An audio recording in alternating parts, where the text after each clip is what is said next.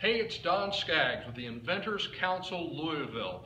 We had a great night tonight. It's Groundhog Day, and we uh, have Jim Hayne from Stites and Harbison, patent attorney. We learned some fantastic stuff, uh, a really good primer on how to protect your idea with patents, trademarks, uh, copyrights. Uh, Jim, tell us a little bit about what we talked about tonight. Yeah, basically, I just introduced a lot of the broad categories of intellectual property law, giving a little bit of the background, um, some tips for each of them about what you should think about early on in the process to make sure that you can get full protection later on.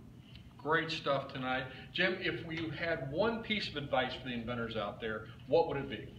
I would say if you're working with an attorney, make sure to ask enough questions that you understand what the attorney is doing for you and so that you're fully involved and invested in the process.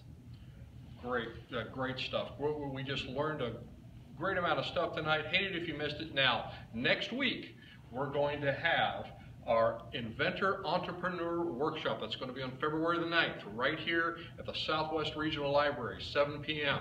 Uh, you want to be sure and be here for that. You have to be a member, but membership's just $60 for the year. You can join online, kyinventors.org. Next month, we're going to have Alan Groshire with Metro Startup Launcher. It's going to be a great uh, way to learn how he is connecting investors with the startup community.